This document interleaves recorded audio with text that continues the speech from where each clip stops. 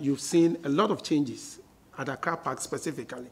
And I'm very passionate about this because Accra PAC have been very instrumental in uh, making sure, uh, based on the, the support from the Honorable Minister uh, herself, uh, we've been very passionate about Accra PAC because when I assumed duty uh, on 17 January, uh, I can speak on authority that I went to Accra PAC and what greeted me was an eyesore.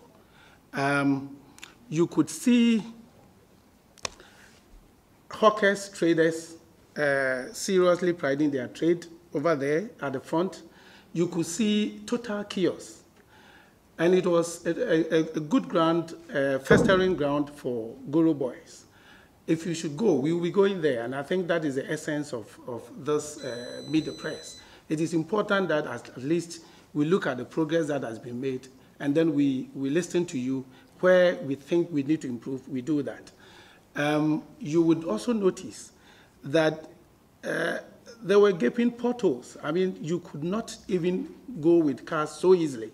You have noticed that we have asphalted the place, and uh, before January, you could also have noticed, and I'm sure about this, that there was even no place for, uh, there was no toilet facility.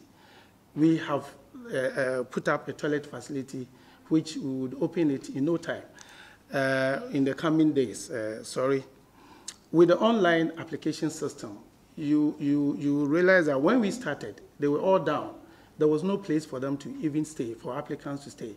Now there's a properly constructed uh, uh, burden for all applicants that would be comfortably seated at the top. So we have taken active interest in uh, uh, Accra PAC uh, because I think that the chaos was so much.